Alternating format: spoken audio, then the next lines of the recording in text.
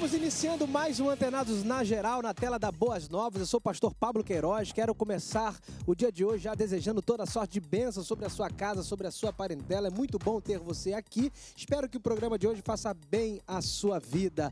Eu aqui já estou usando aqui uma camisa que eu ganhei do Armando Ribeiro, um pastor que sempre frequenta aqui conosco, e Michel e o Del também aí. Metanoia. Obrigado aí, pastor Armando, pelo presente aí. Muito bem. Metanoia é mudança de mente, né? A gente precisa mudar a nossa mente. Cristo é esse instrumento transformador da nossa mente, metanoia. Ele faz uma, uma metanoia, uma metamorfose. Quando encontramos com Jesus, você tem a vida transformada e regenerada. Para participar hoje do programa, que vamos falar sobre notícias, as notícias que bombaram essa semana, eu convido ele, que é pastor na Igreja Metodista na Barra Olímpica, Rio 2, é professor de educação religiosa e palestrante na área de famílias e louvor. Paulo Veltz, bem-vindo Antenas Geral. Muito obrigado pelo convite, muito obrigado aos colegas que estão aqui. É um prazer poder estar junto com você, entrando na sua casa. Quero que você realmente aproveite agora, dá uma ligada aí pro pessoal, chame todo mundo para que possa participar desse programa. Esse programa ele vai falar sobre as notícias desta semana. É importante que nós estejamos preparados para dar a razão da nossa fé e analisarmos a sociedade, tudo que está acontecendo, poder dar uma resposta à luz do Evangelho. Deus te abençoe, um bom programa para todos nós. Para participar também ele, que é pastor da comunidade cristã Betesda em Itaguaí, é advogado e também professor de teologia no seminário CETERG. Rivelino Márcio, bem-vindo ao Tenasa Geral. Prazer estar aqui mais uma vez. Quero mandar um abraço para o Acre. Para quem não sabe, eu nasci no Acre. Pablo vai no Acre, já, já vai preparar uma agenda. Já vou preparar uma agenda para você lá. Pronto, fechou. Vou até levar um pouquinho de mar, vou encher umas duas vasilhas de água do mar pra gente. Um abração pro Acre. E estamos aqui para abençoar, ser abençoados também. A gente abençoa e é abençoado. O fato de estar aqui, aqui é um grande culto, né? Louvando ao Senhor Jesus Cristo, dando a palavra e show de bola. Maravilha! Para participar também ele que é pastor e líder do Nex Lagoinha de Niterói, André Fernandes. Bem-vindo ao Antenados na Geral. Valeu, Pablo. Obrigado. Prazer estar aqui, prazer estar com os pastores também. Eu tenho certeza que vai, vai dar o que falar esse programa de hoje. Tem muita coisa boa para a gente comentar. Vamos lá então para a primeira notícia da semana. Entrevista em, é, em, em, entrevista cedida à Folha de São Paulo, o técnico falou sobre a possível proibição de cultos religiosos no Santos, time pelo qual atualmente trabalha time, perdão, time pelo qual atualmente trabalha e que possui o centroavante Ricardo Oliveira, que é pastor evangélico. Ele acredita que cultos destoam das ações esperadas num clube de futebol. Acho, diz ele, acho que quando entramos pelo portão do Santos vamos falar de trabalho e de futebol, pendurou, ponderou o técnico. Agora, quando saímos, cada um vai para onde quiser. Pode ser um bandista ou ateu, mas religioso dentro do trabalho, não. Quando vamos sair de ônibus, nos, nos, nos, reunimos, fazemos oração e é um negócio bacana que só fortalece o grupo, afirmou aí o pastor e jogador. O que vocês acham de misturar evangelho com trabalho, religião com trabalho? Como é que você acha que, diante de uma, de uma decisão como essa, acha que foi bacana esse técnico ter falado isso? Bom, no mínimo aí por uma posição bem democrática, ele está agindo de uma forma neutra, não querendo influenciar nem para um lado nem para o outro. Nós ocidentais temos uma visão diferente do oriental. O oriental ele mistura muito a questão da fé e da vida. Nós é que fomos usando o plano mais grego, mais cartesiano, mas separando mais as coisas e acabamos vivendo, vivemos numa numa nação que não tem essa preocupação de ser clériga, é laica, ela, é uma, ela não defende uma nação com uma religião específica, uma liberdade de ação. E nesse perfil, né, o técnico ele tem a, a, a, posição de colocar a sua direção, porque senão ele teria também que abrir ali espaço para uma série de outras é, é, religiões e, e, às vezes sai do foco daquilo que, que penso que as pessoas devem estar ali se dedicando para fazer. Precisa concentração, precisa exigência. Não há uma proibição que a pessoa vá para o quarto fazer uma oração, uma leitura bíblica. Mas proselitismo que um seria... proselitismo é que é complicado. Que é complicado. Sim. Então, assim, a posição dele, ele não defende uma religião, até onde eu sei, se não me engano, ele era um agnóstico. E, e, ele tem uma posição assim muito neutra com relação a isso, embora ele saiba até que o momento de oração que se faz une a galera, vai numa pegada mais forte, vamos juntos Mas é um momento ali que todo mundo se sente bem, ninguém se sente ferido, vamos juntos num coração para aquele Deus que é eterno geral. André? Eu acho que a posição dele é válida. É, normalmente a gente se sente confrontado ou incomodado quando a parte que a gente entende ser certa é limitada. Agora, se ele tivesse favorecendo um culto de um movimento umbandista ou qualquer coisa do tipo, talvez os evangélicos se sentiriam feridos por ter essa liberação. Então, eu acho super válido. Até porque uh, os, os, jogadores que estão ali, a gente tem um pastor evangélico ali e acredito que outros no elenco também são, são cristãos. É, a maior influência que eles podem gerar ali dentro do elenco não está ligado ao culto religioso, né? Está ligado talvez a uma hora de reunião na semana, mas a conversa que eles têm nos bastidores, a forma como eles lidam com a família, a forma como eles lidam com, com a história deles, o propósito. Então, se isso está latente no teu colega de quarto, concentração e jogo, ele fala do evangelho sem precisar de um culto religioso para isso, né? Eu acho que isso faz a diferença. Pastor Rebelino. Não, os santos já são santos, né? Sendo engraçadinho. É... Meu posicionamento é o seguinte: você prega sem pregar, você cultua sem fazer a reunião. Nós estamos muito habituados a fazer o culto. Mas o que é o culto? Será que a convivência, a palavra, estar ali juntos, como o André falou, no quarto, conversando, será que já não pode de você evangelizar? Eu concordo em número general com o técnico. Eu acho que o clube, a instituição, o órgão privado, acho que não tem que ter é, um segmento Agora, se tiver um consenso da diretoria e tudo mais, mas às vezes é aquele negócio. Será que todo mundo ali é crente? Aí, será que o cara é, é, é, fica constrangido de não ir naquele grupo? Será que o cara não é boicotado por aqui? Então tem esses, esses pormenores que nós estamos lidando com 40 e poucos jogadores o Santos tem hoje. 40 e poucos jogadores. Será que aquele que não. Então, esses são, são fatos que a gente não tem pormenores que a gente não sabe. Mas assim, eu, eu não concordo é, com cultos evangélicos em, algum, em alguns lugares. Eu, eu penso igual o, o coisa. É, e culto está para além da liturgia, né? Culto é, é serviço, é, é, uma vida sendo vivida. É, não poderia, assim, uma coisa que a igreja precisa aprender é que a igreja não é igreja quando ela está ali reunida e congregada na, naquele quadradinho, como foi falado até num outro momento. Igreja, ela é igreja com o que ela faz quando ela sai dali. A missão ela não se cumpre enquanto nós estamos dentro de um momento de congregação, e seja lá qual for o tipo de atividade que está tendo ali. Mas o que eu sou quando eu saio dali. E aí que realmente foi muito bem falado, é, o, é como a pessoa se porta, como ela, ela celebra, como ela critica, como ela contesta, como ela se posiciona, é como ela agrega uns aos outros, é que vai fazer toda a é, diferença então, é. para um time que tem que trabalhar. É a igreja equipe, fora né? dos portões. Eu, eu, tenho uma mensagem do reverendo Caio muito antiga que ele prega sobre um cara que se ele, ele falou assim, eu quero me assemelhar a Jesus. E ele batia na porta das pessoas, aí as pessoas chegavam, olhavam pelo. Falavam assim: mãe, Jesus está aí. Porque o cara se assemelhou, o cara viveu o cristianismo. Entendeu? Então você consegue viver o cristianismo, não precisa ficar aquela coisa chata. Eu joguei futebol já. Eu estou falando isso porque eu joguei futebol, fui jogador profissional lá na minha terra, no Acre. Então, tinha esse negócio, eu não gostava, não. Eu não gostava.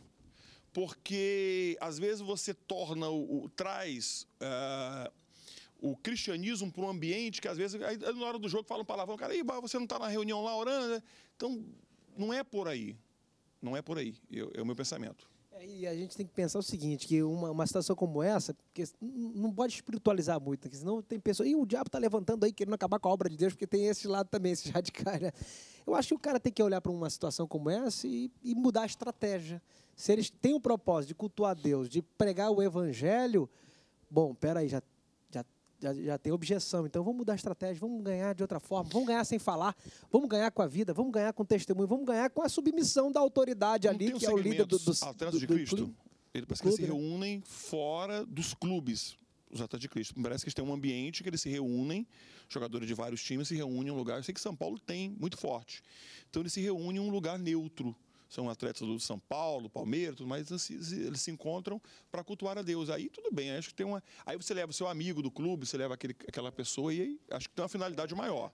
E André, tu já trabalhou em algum lugar onde passou por uma situação como essa? Ou como você agiria se você estivesse trabalhando, os cristãos lá querendo se reunir e o Estado é laico, mas a empresa é privada. Tem um dono, tem um empresário ali que ele, ele que tem que dar as diretrizes. É, eu, eu, já né? tive contato, na verdade, com, com pessoas envolvidas é, em questões políticas e é comum você ter em ambientes políticos também cultos, né?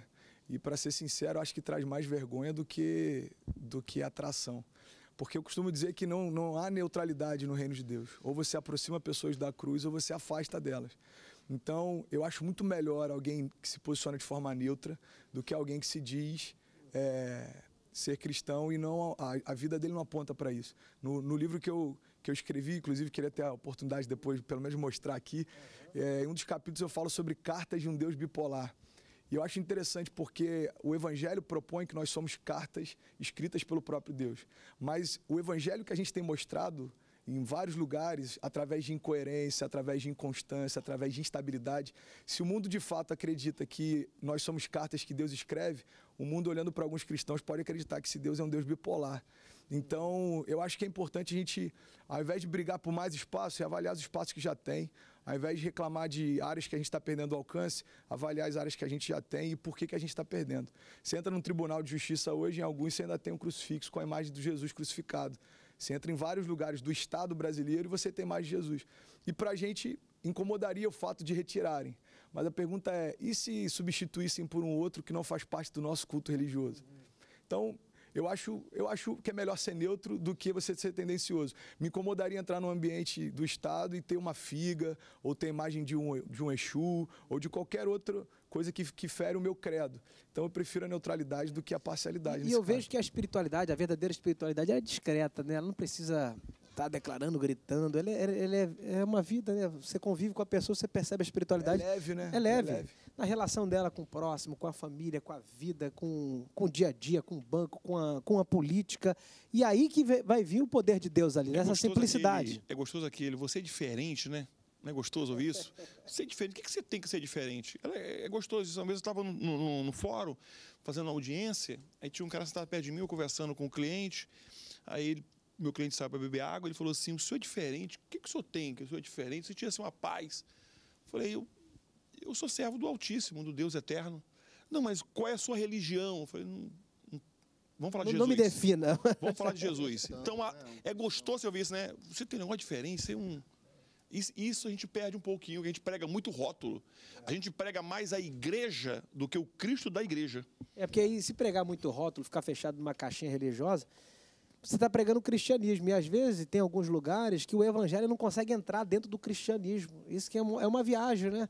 O cara está tá pregando o cristianismo sem o evangelho. Só prega a religião, querendo botar uma, uma uma né? capa, uma capa naquilo ali, mas e o coração do cara? Será que está mudado mesmo, né? Está regenerado? É, Pablo, você agora tocou numa coisa muito importante.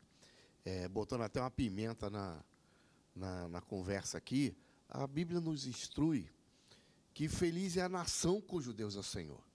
Então isso era para ser o que deveria governar a nossa caminhada.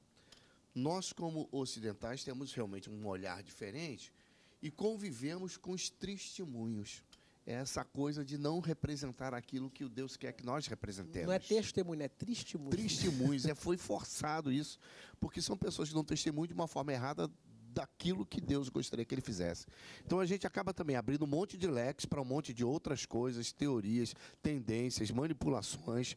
Por quê? Porque quando uma vez aqueles que eram para dar o bom exemplo, né, deram um péssimo exemplo. Hoje, se a gente vê uma, a bancada que mais vergonha traz na nossa caminhada política, é, é, é uma bancada evangélica, quando a gente vê posicionamentos que vão contra muitas coisas daquilo que o próprio Deus gostaria que nós fizéssemos. O evangelho é simples. Então isso entristece. O evangelho é simples. Por exemplo, aqui perto tem um lugar onde o pessoal vai orar, um monte.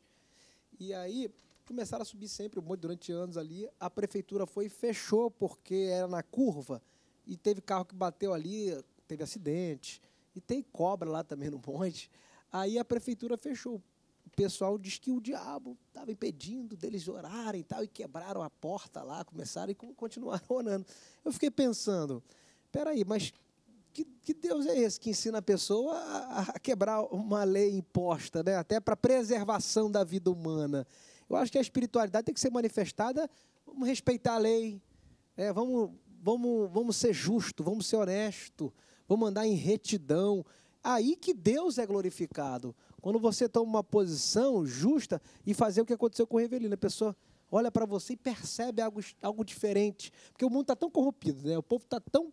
Está tá andando na contramão da lei do mundo da vida. Se você andar na direção certa, isso é, é uma forma de você dar glórias a Deus. Pablo, percebo que passa sempre aqui, meu amor, um grande homem de Deus. O cara passava só. Ele não entregou nenhum folheto na porta dela. Meu amor, passa um grande homem de Deus aí. Será que não está faltando isso para a gente? Se passar, passar e deixar o, o, aroma de Cristo, passar e deixar o aroma do testemunho, falta-nos isso, cara. Tem uma frase que me falaram uma vez que o machado, quando está afiado, ele não faz força, é só, só um toque, né? É assim, para a gente ganhar as pessoas, não precisa gritar, forçar, implorar, arrastar a pessoa para a igreja, é, vai vivendo, passa. É, eu acho, acho que a grande verdade, por mais que por mais duro que seja, é que está faltando convertidos dentro das igrejas, né? Eu vi um pastor, o pastor Anderson Silva, e ele falou algo que eu achei maravilhoso. Ele falou: é impossível discipular alguém que Cristo não tenha convertido. Então, a gente às vezes se cansa na, no intuito de discipular pessoas que não nasceram de novo. Se você não nasceu de novo, existem coisas que estão inacessíveis e sequer para você compreender. Então não tem como você esperar mudança de atitude se não houve mudança de natureza. Não é, tem como experimentar mudança de coração, de mente, se não houve mudança de natureza. Então o pré-requisito básico é nascer de novo e aí todo o restante flui naturalmente, né? Maravilha! Esse primeiro bloco foi para conta. Vou para um break, um rápido intervalo. Você que está aí gostando, assistindo, aprendendo, não sai daí que Antenados volta já já.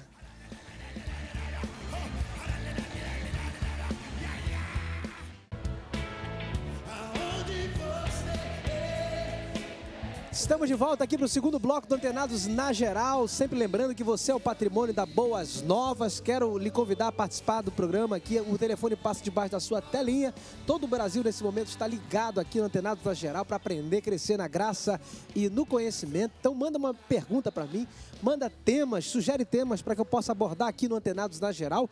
Temos um canal no YouTube, esse programa vai para lá, tem uma lista enorme de todos os temas, dos polêmicos, dos mais diversos, para que você possa aprender. Uma página no Facebook com recorte dos melhores momentos. É muito importante a sua participação. Você é o patrimônio dessa emissora. Vamos lá, pastores, para mais uma notícia aqui. Na noite de sexta-feira, dia 7, um pastor foi assassinado na porta de uma igreja evangélica localizada na rua Bicentenário, no bairro de Nova Cidade, município de Escada, na zona sul da mata de Pernambuco. Segundo informações, a vítima Moisés Rezendo da Silva, de 45 anos de idade, estava na cidade de Escada para ministrar em um culto quando um homem o chamou e, armado, efetuou vários disparos. Após consumar o crime, o atirador se fugiu do local, fugiu do local.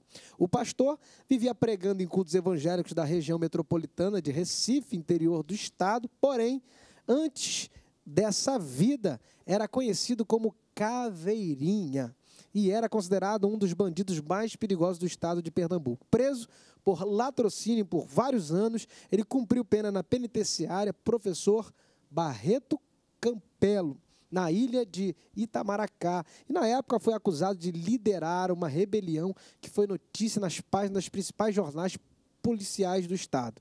Em sua página oficial no Facebook, o pastor não escondia seu passado e se considerava o ex-bandido mais perigoso do Estado de Pernambuco. Olha aí, pecado achou ele, né? Interessante isso. Ele se converteu, mas parece que. Aí, Rebelina, que situação é essa? O cara, pastor, li... pregador, mas tinha um passado terrível. Quando eu li essa, essa, essa proposta do programa, essa, esse quesito aí, será que não foi um desafeto do passado, não? O cara esperou então, um momento para é. agir. Pode Agora, ser. uma coisa interessante, às vezes, alguns pregadores, algum é, o, o testemunho, às vezes o cara é o ex, né? O culto do ex, né? O cara é ex, aí ele fica pregando aquilo, às vezes eu não sei até onde isso é válido também. Ficar... O que é ser ex é válido também. Até que ponto a riqueza da iniquidade é bom ficar mencionando, né? Porque tem um texto na Bíblia que fala da riqueza da iniquidade. Como é que a iniquidade tem riqueza? Ela só tem riqueza quando há o poder da transformação. O cara era um pior do mundo se tornou, se tornou, um cristão. De repente ele estava usando isso, porque muitos testemunhos, né, Revelino? Muitos pregadores usam os testemunhos. Eu vou te contar um aqui agora. E aí vive de testemunhos o cara foi homossexual, ex-homossexual, e falou assim: olha, larguei isso tudo tudo mais, e quero até comprovar o meu testemunho, até um ex-namorado meu está aqui sentado aqui na igreja, aqui sentado ali atrás ali. Então, Triste. eu não sei, Pablo, até onde isso é válido. Às vezes, talvez um, um desafeto, talvez alguém que perdeu o pai, perdeu um parente, perdeu um irmão, o cara ficou aquilo, aquela mágoa no coração e fica ouvindo aquele. Eu fui o cara, eu ainda me considero o cara, não sei o quê. Eu não sei até onde isso vai. Por exemplo, o teste- o- tem Eu testemunhos que consigo- são saudáveis. Por exemplo, o André teve um testemunho agora forte, né? que Deus o tirou da morte. Tá com o livro aí, André? Tô, tô com ele ali. Depois vou, vou Depois apresentar aqui nos comerciais para. É, Deus me deu livramento de morte e- Mas nem todo tem um testemunho é mês, bom, né? Porque às vezes o cara também usa o testemunho para se gloriar, como esse caso. Às vezes Então, Pablo, sabe o que eu detalhe. percebo? É, eu pastoreio jovens também e às vezes você conversando com alguns jovens, é, para mim tem um termômetro muito claro. Se os olhos do cara brilham mais quando ele fala do que foi, do que o que ele é hoje, talvez ele não tenha sido transformado ainda. E tem Então, o testemunho você e, fala e- e o sobre- gabamunho, cara. É, você fala do que você foi, do que você fez, você percebe que o cara se alegra talvez mais do que com a, com a visão de propósito, de chamado, de identidade. E, e isso deixa a gente bem. É, é bem- é bem clara essa leitura. Agora, em relação ao pastor, eu não, eu não tenho como falar porque eu não conheci, não sei da vida dele. Eu, eu creio num Deus que me guarda, é o meu refúgio e fortaleza, me livra da morte. E independente de onde eu, eu estiver, ele vai me guardar e guardar minha casa. Eu creio nessa proteção de Deus. Agora, eu também entendo que nem todo mundo que fala sobre o evangelho está no evangelho, nem todo mundo que fala de Cristo está em Cristo, nem todo mundo que fala de proteção está guardado. Porque não dá pra gente saber de fato como estava a vida dele hoje, né? Então, pode ser um desafeto do passado, pode ser algo presente, ou pode ser algo aleatório. É, eu acho que não dá pra gente pegar isso e tornar isso uma doutrina, do tipo, pastores não morrem assassinados ou morrem É. assassinados, Não, porque e ninguém tá coisa, livre, não dá por pra exemplo, ser o cara cometeu crimes terríveis atrás. Ele acha que se converte, apaga, tá perdoado e não vai acontecer nenhum mal.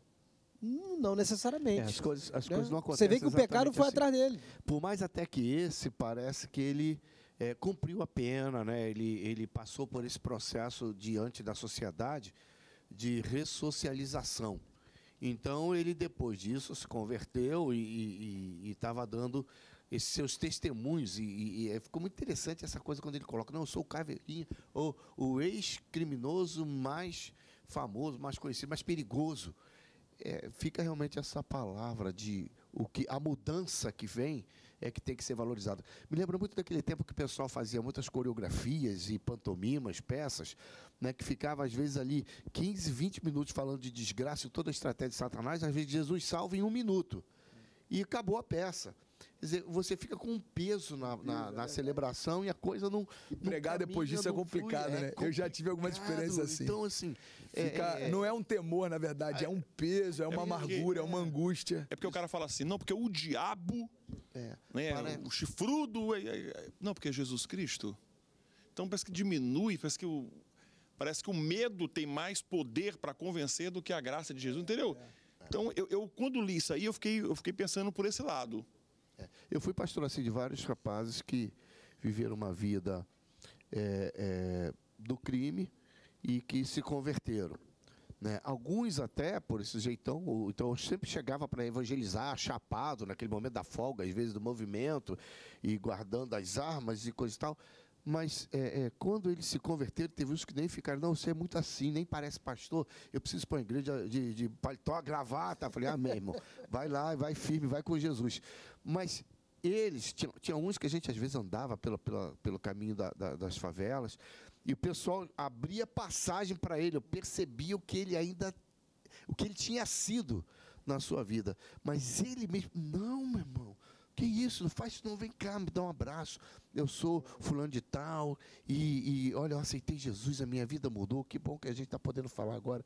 Eu estou te vendo, vai ser sempre um prazer te encontrar. Deus abençoe sua vida. Então, era um impacto para a pessoa, e a pessoa ficava assim com aquela mensagem do que ele era agora, não do que, do que ele tinha sido, que era mais a ter respeito moral Pronto. e valor. Pronto. A maior, a, maior, a maior transformação é essa, né? Não é nem o que ele apenas fez, mas que ele continua fazendo no É. dia a dia. Eu vi um testemunho que me edificou demais, cara. É um cantor que é muito conhecido no Brasil e, e a juventude brasileira conhece muito ele, até porque ele era bem famoso antes da conversão. E aí eu vi algo da parte é, sobre ele que eu fiquei impactado, cara. Ele foi ministrar numa cidade no Brasil com outro pastor também, que é uma referência entre jovens. E aí no final do culto eles foram pro hotel. E aí esse, esse é, antigo cantor muito conhecido tava chorando, mano. Ele tava em prantos. E aí o pastor falou, mano, por que, que você tá assim, cara? Foi maravilhoso hoje, fluiu demais, centenas de pessoas se converteram. Ele falou assim, você percebeu no final do culto quantas pessoas vieram falar comigo, cara? Centenas de jovens querendo tirar foto e quatro ou cinco foram falar com você. Ele falou, mas e aí, mano, qual o problema disso? Ele falou, é porque os que vieram tirar foto comigo, eles quiseram tirar por conta daquilo que eu fui. E os que vieram pedir oração por você, eles reconhecem aquilo que você é. Eu sonho com um dia em que vão buscar em mim aquilo que eu recebi do Pai, não aquilo que eu vivi antes dele. Então eu achei uma maturidade, um temor, cara, que eu achei, mano, é isso, esse é o caminho, sabe? Ele se despiu de tal forma do velho homem que quando pessoas pedem para ele dar o testemunho, ele fala assim: não, deixa eu dar o testemunho do que Deus tem feito, pô. O que passou já foi, essa fase já foi, já virei essa chave. Porque o homem parece ter uma fábrica de ídolo dentro de si, né? E para o pregador, para o ministro, é. Ah, eu que estou aqui todo dia. Às vezes eu viro e mexo, pessoa passa na rua para tirar foto. Só que é uma coisa que eu acho que a gente tem que é, mostrar para eles, acho que a solução é mostrar que nós somos humanos, né? não semideus, não demiurgo, porque é fácil pintar um, um mito. Né? Eu tinha um, tinha um pregador que eu sempre admirei, vi o cara como um mito. Quando você vai convivendo com a pessoa, o mito vai se acabando. Acho que eu, a humanidade, né? ser humano, é, ter cheiro de ovelha. Né? Nós, como pastores e pregadores, acho que a gente tem que estar mesmo em contato com o ser humano e não se distanciar, porque a, a distância acaba criando esse mito. É. Às vezes tu, tu admira o cara, tu chega perto, não consegue chegar perto da, da pessoa que você gostaria de, estar abraçando. Então, acho que a solução seria a gente se tornar mais cristãos, humanos, é, se relacionando com a vida humana no dia a dia, né, no relacionamento diário. Nós criticamos uma igreja que tem seus ídolos, tem seus deuses, tem seus santos. Nós temos nossos santos, só que são de carne e osso. Então nós temos uma facilidade muito grande de pegar uma pessoa, um ser humano, e colocar ele num patamar onde o que ele foi antes é tanto quanto importante do que abrir a palavra em uma parte dela e o cara explicar. Nós queremos saber o que, que foi, aquele glamour, aquele. Eu falava isso muito com, muito com o Cris Duran. Quando o Cris Duran é muito na minha igreja, eu falava isso muito para ele. Ele falou assim: tem hora que te cansa de contar o que a gente foi. A gente quer contar o que Cristo fez, o que ele está fazendo. Isso que é vibrante, isso que é. Porque você sabe que tem pessoas, quando se convertem, André, que eles nem gostam muito de, de falar aquilo.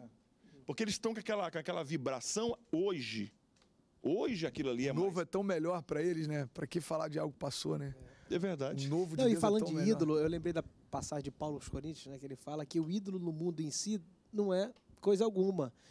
Ou seja, se eu considerar esse lá um ídolo, isso pro, pra, não é nada. Na verdade, o ídolo está dentro do homem. Não está do lado de fora, está do lado de dentro.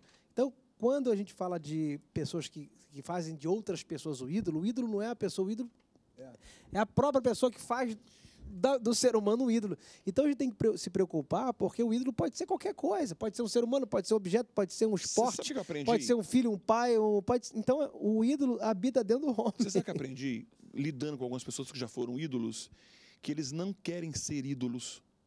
Eles querem ser igual às outras pessoas sentar ali no banco. Muitas vezes isso acontece de, depois de um período, né? É, mas. Quem te vê são pessoas que alimentam isso, mas, André, investem nisso. Aí eu vou permitem chegar. que isso aconteça até o momento em que eles percebem que isso não tem sentido. Isso. E aí se cansam de algo que sempre buscaram. Também existe muito disso, concorda? Muito. Eu vou tocar na parte que você tocou agora há pouco, que é o seguinte: quando o cara realmente se converte, quando ele encontra realmente o Cristo da cruz, que ele descobre, ele, ele é tudo. É. Dele vem tudo. Eu acho que ali, quando é a conversão, porque tem vários processos. Não adianta você comparar o João com o Antônio, que é diferente. São processos diferentes, é, é ensino diferente, tudo diferente. Tem cara que se converte hoje e está pregando amanhã. Não consigo entender isso.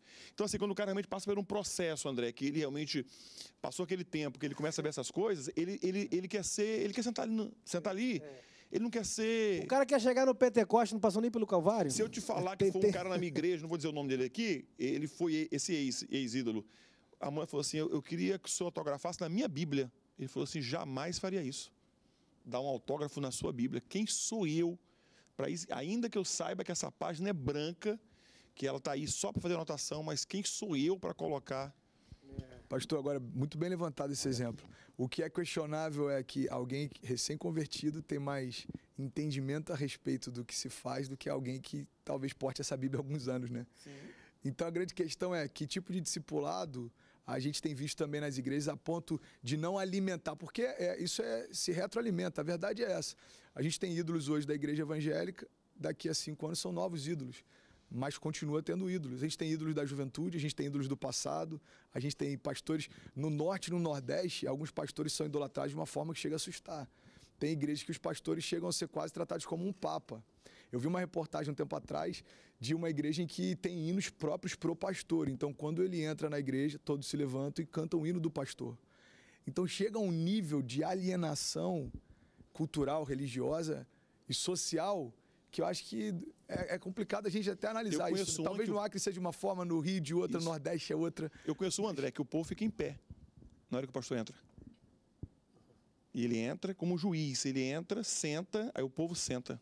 Chegou a sua santidade, agora... É o coronelismo, né? A época do coronelismo. Agora, vem cá, no caso dessa morte desse irmão em Cristo, é, vamos acreditar que era, era, irmão que era um irmão em Cristo, isso quebra também a teologia da prosperidade, né? Mostrando que você, nós aqui estamos sujeitos a morrer de qualquer forma. Porque há uma coisa de. de eu vejo pessoas utilizando aquele texto. Mas, Thiago, mil cairão ao teu lado, dez mil à tua direita, mas tu não serás. Onze mil, né? Dez 11, mais... É, é onze mil. E Tiago? E aí? E Tiago? E Tiago, cara? E Estevão? Apedrejado, morto, é, decapitado, eles, mongóis, com a espada. Eles por Cristo, pela Sim. palavra. Esse aí eu não sei. Mas o evangelho não me garante, não garante a mim, nem a nenhum de nós aqui, que você não sofrerá. Pronto, é. O Senhor é o meu, pastor, nada a mim, não faltará dor de cabeça, não faltará perturbação, não faltará crise, não faltará. Não, e esse mas, não mas faltará. Ele, mas Davi diz, né, ainda que eu ande pelo vale do sono da morte, tu estás comigo. Ele, ele não, me, não, me, isenta do vale. Não, e outro detalhe, ele, é ele meu está comigo no é, vale. Ele é meu pastor e não me faltará, significa que no vale Deus é suficiente. Deus é suficiente. Né? É a suficiência do Pai que não o que falta. Me basta é ele. Entendeu, Pablo? Que ele me que me basta. Ele. Pronto. Ah, mas a mensagem Na que verdade, muita gente procura é deixa eu só fazer um comentário, é, deixa eu só é. um comentário nesse texto, porque assim, uma tradução melhor que a gente tem do Senhor, o meu pastor, não seria nem nada me faltará, mas de nada sentirei falta. Porque o Senhor é aquele que vem que supre a gente em todos os momentos que a gente tiver essa necessidade. Então, só por isso que eu queria colocar esse é ponto. Que, falar, é, o, que, a gente consolida o contentamento de que, que, o temos Senhor com Deus é, faz com que perfeito. a gente tenha uma outra visão. O, o, capitalista é muito assim: nada me faltará, eu vou ter o dinheiro, o dinheiro vou, vou conseguir suprir.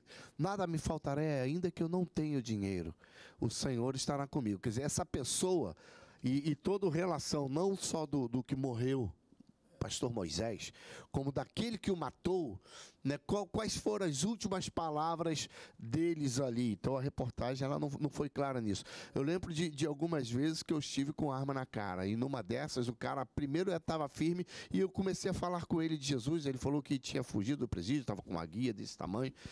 E, e, eu falei, cara, essa guia não vai te, te proteger, mas eu quero te apresentar, você vê exatamente me assaltar, porque Deus é um Deus que te ama, Deus é um Deus que pode mudar a sua vida, essa pode ser uma das suas últimas oportunidades. O que aconteceu comigo, eu estou com Deus, mas olha, Deus te ama. Você precisa mudar a sua vida. Ele tremia, ele tremia com aquela arma na mão dele. Então, assim, eu, eu, e eu conheço, né, era um 38, as azeitoninhas estavam brilhando ali.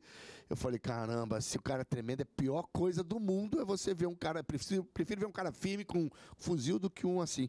Eu falei, olha, aí eu fui dando um passo para trás, que eu, em princípio, estava indo na direção dele, eu vi que não ia dar certo. Me afastei, coloquei no chão o que ele queria, ele foi embora. Eu soube que uma semana depois ele tinha morrido. Então, nós é, precisamos saber que, ainda que a morte venha, para nós não é mais para nós não é mais. Foi vencida na cruz. cada um de nós, ela foi vencida na morte cruz. É... Essa é a hora é. de você testemunhar a fé. A morte é Deus promoção, tenha... né? Como é. diz o Edward, é uma carruagem que nos leva para o céu. Maravilha, vamos para mais um intervalo. Você que está aí gostando, assistindo, pega um pão, biscoito e volta já já que tem mais notícias para você.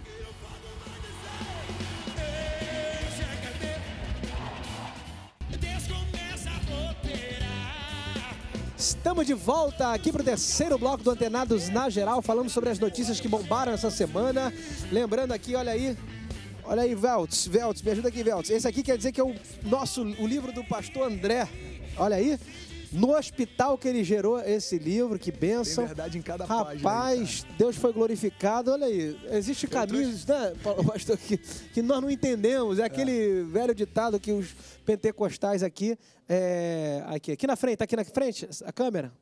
Aqui, ó, pronto. 3Gs no Na barco. câmera Pode 3, comprar ó. online, inclusive. pá. Dá pra comprar 3Gs no online, né? barco.com. Tem uma frase que o pessoal diz que Deus complica, descomplica e depois explica por que complicou, né? Deus complicou ali, levou ele para o hospital, escreveu aí uma obra bonita. É, ele, ele permitiu que eu estivesse lá. né? Eu falo até sobre isso, inclusive. Eu falo sobre a vontade ativa e a vontade permissiva. Porque como um pastor no hospital, e como um pastor no hospital falando sobre um Deus que cura. E aí eu falo sobre tempestades que Deus permite que a gente passe, tempestades que a gente se lança nelas e problemas que na verdade nunca foram tempestades, a gente precisa mudar a ótica. Então estou muito feliz com, com esse livro. É, prefácio do Davi Lago, indicação do pastor Brandon da Rio de São Francisco, Nívia Soares, Gustavo Paiva. Deixa eu só fazer uma adenda aqui sobre o que a gente falou no último bloco. A gente falou sobre contentamento. E eu vivi o poder do contentamento durante esses dias internado. Seis primeiros eu fiquei no CTI, entre os pacientes terminais, todo mundo entubado do meu lado e a eminência de poder abrir meu peito, ter que fazer uma cirurgia a qualquer momento. E quando eu fui para o quarto, as pessoas ficavam impactadas com a alegria que eu tratei aquele momento, porque eu enchi minha parede com papéis e sonhos e projetos, eu botei uma impressora no, no banheiro e fiz o home office, e as pessoas falavam assim, cara, mas como? E a minha pergunta era, mas o que, que você esperava de um pastor que prega sobre um Deus que cura? As pessoas se surpreendem quando o cristão está bem em meio à crise, mas deveria ser surpreso o contrário. Se eu prego em viver acima das circunstâncias e andar sobre as águas, estranho seria uma ovelha me encontrar numa forma diferente dessa, concorda? Então a questão do contentamento, que a gente estava falando no último bloco, é exatamente isso. É, pastor, como é que você está feliz? É porque eu já morri, pô. Eu tenho certeza que isso daqui é um período, mas eu já morri há 11 anos atrás da minha conversão. Essa nova morte, na verdade, ela não, não é o fim, ela só é um novo processo. Eu morri quando eu abri mão da minha vida e vivi para Cristo. Então, se você puder, dá uma olhada depois no livro, eu tenho certeza que vai te edificar. E eu tenho recebido testemunhos de pessoas em vários hospitais, Pablo, que tiram foto, ó, estou no Hospital Geral de Macaé, recebi o seu livro e estou sendo edificado. Hospital Geral do Câncer. E só para fechar, te agradecer esse espaço, é, os médicos cristãos no hospital em que eu fui internado, eles fizeram um propósito de dar para cada novo paciente internado esse livro. Então eles compraram vários e cada novo paciente está lendo algo de alguém que venceu a morte através do poder que existe no Evangelho. Maravilha, parabéns É aí isso, cara. pela Obrigado obra pelo- que o Brasil hoje possa aí, né, conhecer e ver aí, desfrutar desse benefício, desse testemunho, que eu tenho Amém. certeza que o Obrigado André é homem de Deus aí, Deus abençoe. Mais uma notícia aqui, pastor Paulo Véu, de começar aqui por você, olha aí, ó. Otônio de Paula, um conhecido pastor do Rio de Janeiro, líder do Ministério Missão Vida, publicou uma nota em sua página no Facebook. Ele comunicou a suspensão de uma apresentação da cantora Perla em sua igreja, que estava prevista em um congresso de adolescentes. Como, justifi- com- como justificativa para o cancelamento, o pastor esclareceu que viu Perla cantando em uma roda de pagode e que, como pastor, tem compromisso de cuidar do seu rebanho. Olha aí. Muito obrigado pelo privilégio de bomba. começar esse falar sobre isso. Gente, é muito simples. Eu fui pastor de juventude 10 anos. E, e- e essa garotada, elas, elas estão. Quando eles se comprometem, eles se comprometem muito mesmo, eles mergulham ao fundo. Então, é, é, não é o fato de ouvir ou não ouvir uma perla que vai fazer a diferença. O que a gente precisa, entre outras coisas, é respeitar o, o ministério, o pastor, que deve ter outros motivos que fazem parte do processo da definição dele. Por outro lado, assim, nós ouvimos que, que ela cantou três músicas gospel naquele pagode e duas músicas românticas. Que é, ela, ela o- não comprometeria o evangelho na caminhada daquilo que ela fez ali naquele lugar. Pelo contrário, Jesus foi criticado por coisa muito maior do que isso. Né, onde ele comia e bebia com pecadores, etc. E hoje a gente tem uma garotada fazendo música, né? A gente é- somos da área de música também, que eles estão tocando na noite, fazem parte de ministérios, mas eles tocam na noite. Não só aquela coisa de tocar na noite por profissionalismo para levantar sua, seu sustento, mas eles, eles fazem um repertório de músicas para tocar na noite, músicas deles que falam de Deus sem falar a palavra Deus. Que pode ser o lugar, a galera lá metendo a cara e eles param para ouvir aquela música, curtem muito o som deles e eles fazem ali um trabalho evangelístico em lugar onde eh, não tem uma pregação. Mas a vida deles faz diferença, eles não bebem, eles não fumam, eles não cheiram, mas quando termina o caramba, o evento deles, eles, eles, eh, eh, as pessoas vêm conversar com eles, mas que- quem são vocês? O que, que é isso? Vocês são da luz, vocês são daquele lá de cima. Então cada um fala do, do- do seu linguajar de onde estão. né? E eles muitas vezes bancam até shows, já, já tiveram em Imperato, já tiveram na casa lá em Botafogo, em outros lugares. E, e, e é uma galera que hoje explana isso aí na, no, no, no, Facebook, no, no, nos, nos YouTubes, porque é uma, um linguajar, uma mensagem, um testemunho de vida que toca o jovem, toca a galera de hoje, que não compra mais CD, que não faz mais esse tipo de coisa, mas que baixa no Spotify, baixa em outros programas. Então, assim, a, a, eu não vou aqui questionar a atitude do pastor, mas eu quero falar para uma geração que, que, que quer falar de Jesus onde quer que esteja, que a vida precisa estar consonante com a palavra a palavra de Deus. E que isso faça a diferença onde quer que ele esteja. Então, assim, que, que Deus possa estar abençoando, seja a Perla, com o testemunho dela, que ela foi lá e teve a coragem de tocar uma música gospel num pagode e fazer outras coisas. Quando a gente tem igrejas aí que fazem bloco de escola de samba para evangelização, ou que não fazem nada lá de frente, mas que estão dentro fazendo evangelismo em shows de rock, em outras coisas. Então, Pegar assim, esse gancho aqui do pastor Paulo, até vamos falar um pouquinho sobre isso, que eu acho que é interessante, que ainda é uma polêmica no nosso meio, né? Sim. Pastor ou cantor que canta no púlpito da igreja e canta no, no palco do mundo. Como é que vocês acham, é, enxergam Opa, essa, deixa eu, essa posição? Até falando um pouco sobre a notícia e pegando o gancho do que você está falando, é, eu fico muito feliz de poder falar sobre isso, porque eu acho que um dos desafios da minha geração é saber lidar com essa questão que a religião durante muito tempo levantou: distância entre o santo e o profano. É, eu acho que trazer princípios do mundo para a igreja, eu acho até que eu já falei isso aqui em uma outra oportunidade, não significa pintar as paredes da minha igreja de preto ou botar luzes no palco. Porque eu trago o mundo para a igreja quando eu prego sobre algo que eu não vivo. Quando eu não tenho caráter, quando eu sou infiel à minha esposa e eu ministro sobre fidelidade no casamento. Então, existem muitos ministros que têm uma igreja com uma cultura religiosa, tradicional, mas têm trazido o mundo com o que tem pregado e não tem vivido. Esse é o primeiro ponto. Não estou dizendo que é o caso específico desse pastor, não é o caso. É, pelo menos até onde eu sei. Mas é, você levantar uma questão como essa, desculpa, eu acredito que é muito mais no intuito de trazer repercussão do que no intuito de guardar a igreja. Porque se eu quero guardar a igreja de alguém que anteriormente eu convidei, eu faria isso diretamente com a igreja no dia do evento.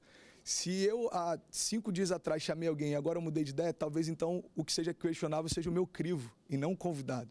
Uma outra coisa que eu acho interessante, se a gente for analisar, é que se você pegar na época de Jesus, é, as, os, os religiosos eles não tocavam em nada que era morto, porque eles acreditavam que isso o contaminaria também.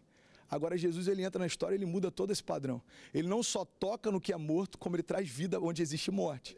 Então o que a religião fez durante muito tempo foi uma alienação cultural do tipo: a igreja não tem acesso a esses lugares, a igreja não vai nesses lugares e a igreja não se comunica com esses lugares que, que aconteceu com, como fruto disso? A igreja se tornou alienada e completamente isolada do restante do mundo. Então, você tem uma geração como a nossa, em que o Justin Bieber agora está caminhando com pastores. É, pode ser que esse garoto seja uma revolução e seja um avivalista. Pode ser que ele seja uma das grandes vergonhas em relação a alguém famoso que se converteu. A grande questão é: se eu não dou a ele a chance de experimentar a oportunidade de um novo começo, qual é o evangelho que eu me proponho a viver?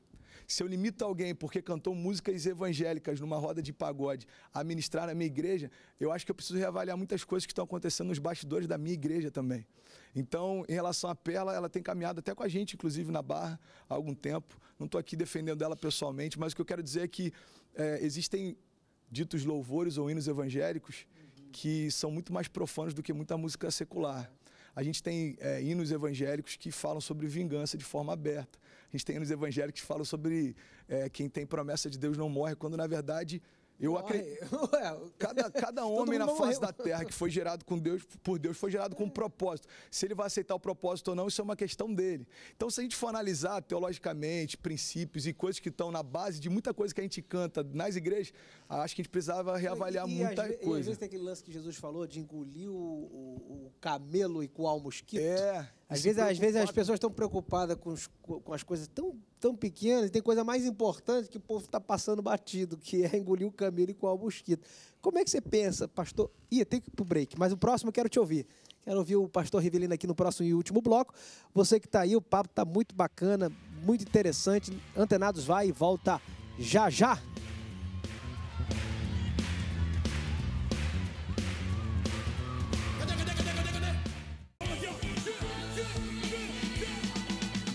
Estamos de volta para o quarto e último bloco, sempre agradecendo muito a Deus pela sua presença, pela sua audiência. Tem mais uma notícia aqui que a gente vai finalizar, que fala o seguinte: o bispo Ed Macedo voltou a manifestar simpatia com a agenda LGBT e declarou não se opor aos homossexuais e suas bandeiras, como o casamento gay, Macedo voltou a falar que Jesus não se posicionou sobre a homossexualidade durante seu ministério, ignorando a passagem de Marcos 7,21, em que Jesus diz que do interior do coração dos homens vêm os maus pensamentos, as imoralidades, as imoralidades sexuais, os roubos, os homicídios, adultérios. No tempo de Jesus já havia homossexuais e que ele não disse nada e muito menos levantou uma bandeira contra o movimento, disparou o Ed Macedo, dizendo que o confronto contra a militância LGBT é algo no qual ele não se envolve.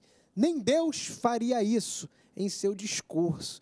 Macedo faz um aceno aos homossexuais. Nós, da Igreja Universal do Reino de Deus, não impomos nada contra ninguém. E aí, André? Então, é, fechando o último assunto, acho que tem muito a ver com isso. Né? Eu não estou muito por dentro da agenda política, infelizmente, do Rio. Deveria até. Mas eu recebi uma arte, não sei se isso procede, que o pastor que travou a perna de no evento foi um dos que apoiou uma emenda é, por uma cota para o público LGBT. Então tá lá entre aqueles que votou a favor, esse pastor que proíbe a perna de cantar na igreja apoia o movimento LGBT em algumas formas. Então, é, o grande desafio que a gente tem é como lidar com os nossos posicionamentos de uma forma linear. Não tem sentido se eu deixo brecha de um lado e eu tento me posicionar de outro. Os hipócritas faziam a mesma coisa. Então, questionavam a, a questão de Jesus ser de fato filho de Deus, mas conheciam a palavra. Uma coisa não te isenta da outra. Então, em relação universal, é, não, não vai ser o primeiro é, assunto que gera escândalo, ou pelo menos dúvida, crítica ou repercussão. Infelizmente, eu acho que isso marca todo o Estado universal. A grande questão é, de fato, pastores, a gente deve se posicionar contra a agenda LGBT, apoiá-los, trazer para dentro. Como que funciona isso? Rivelino, você vai falar o que Ô, você falou meu dos filho. bastidores? Ou não? De quê? Do, do, do, do Edir Macedo? Assim, um pastor evangélico, ele tem dificuldade com o homossexualismo. Um pastor. Eu não considero o, pastor, o Edir Macedo pastor. Ele é bispo, ele é Eu bispo. considero ele um religioso, eu considero ele um pensador evangélico, mas só isso eu consigo pensar dele. Que Deus o abençoe, que Deus o guarde, mas eu não consigo ver o Edir Macedo como sendo um cara que tem uma palavra firme na questão evangélica. Primeiro que tem que ler Bíblia, né? Pelo pensamento que ele fez aí, ele não Ele conhece a consegue Bíblia. atrair, a- Alguém- o público Sim, dele é mas, mas muita gente É, e também o atrai, público né? LGBT também, né? O público também é muito... do- Talvez por um crescimento de nicho, né? lixo. Então, assim, eu queria só que alguém apresentasse a Bíblia para ele, né? Fazer Um Porque discipulado com Macedo, é isso? Tu faria um discipulado com o Ed Macedo. é, GC. levar, levar é, GC. é classe de catecúmenos antigamente. É classe categórica. É, lembra disso, Paulo? Igreja congregacional. Igreja congregacional, lá. isso aí. Então, assim, nada contra a Igreja Universal, pelo amor de Deus, nada contra eles. Sei que lá a gente tem gente que se converte, Deus faz, Deus transforma, mas o- a pessoa, o Edir Macedo, já não é a primeira, nem segunda, nem décima vez que eu sempre vejo ele fazendo os pensamentos, porque precisa ler um pouquinho mais a Bíblia. Talvez esteja faltando essa leitura. É, na, na- nessa questão toda, o que, o que me move muito, que me mexe bastante, é que atrás de toda essa aparência de uma busca da, da felicidade, ou investimento num tipo de negócio, né, das relações para ganhar um dinheiro para a vida, etc., a gente vê um ser humano que precisa do amor de Jesus Cristo. Então, já tive oportunidade também de, de evangelizar em vários lugares onde tinham pessoas ali que se vestiram de transexuais, que, que faziam propósito e apareciam carrões lá para, para levá-los para programas. E, e quando ouvem uma palavra dessa vindo de alguém que é uma referência, fere o- os princípios bíblicos. A Bíblia é muito clara, ela ama todos os seres humanos, todos somos pecadores. Então, você valorizar um pecado em detrimento de outros, dizer que Deus não prega contra, a questão específica do homossexual numa cultura patriarcal, machista, que era o semita, isso já não era aceitado no mundo dos hebreus, já era apedrejado por uma série de outros motivos. Jesus não precisava falar certas coisas. Interessante que antigamente o problema da igreja era tratar quando o camarada vai comer o lanche antes do recreio, né? Sim. o sexo antes do casamento. Agora, é o problema é de, como é que a igreja está tratando. Será que ela está preparada para tratar casamento gay? Tem um minutinho. Não, sem dúvida que não. Inclusive, eu recebi um livro essa semana que fala sobre cristão homoafetivo. É uma, é uma indagação. É da editora Mundo Cristão. E, e trata desse assunto. E, e aí, pode? Existe isso? É bíblico? É claro que não. Mas é o grande desafio que a gente vai ter. Eu acabei de vir do shopping agora e eu até comentei com um dos jovens que estava comigo. Eu falei, eu estou tendo a ligeira impressão que o número de homoafetivos está superando o número de, de héteros. Em alguns lugares você chega a ter essa impressão. É, chega até a se surpreender quando você vê um casal hétero, que você fala, uau, legal, um casal hétero. E isso me preocupa porque eles, eles têm uma inteligência que a igreja durante Tem muito 20 tempo não segundos. teve. Ou É. até porque talvez os casais héteros, geralmente, eles não abusam do- na demonstração do seu relacionamento, no externo. Mas que fica aqui essa palavra, né? Deus ama todas as pessoas, quer que você tenha uma vida com Deus. Maravilha, pastores, quero agradecer muitíssimo a presença de vocês. O papo foi uma benção. Obrigado, Brasil. Obrigado você que me ouve. Um beijo grande. Todos os dias, 17 horas, te encontro aqui. Até a próxima!